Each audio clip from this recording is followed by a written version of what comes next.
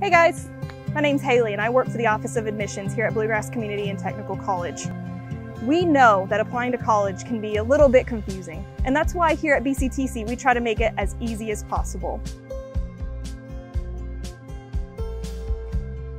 The first step you need to complete is to submit your admissions application. It's free and takes about 15 minutes to do. You can access that at our website at bluegrass.edu slash apply now. After that, we'll need your official high school transcript. To be official, it needs to have your graduation date on it. Also, remember to submit your ACT scores to us as soon as you can. And don't forget, complete the FAFSA, our school code 005244.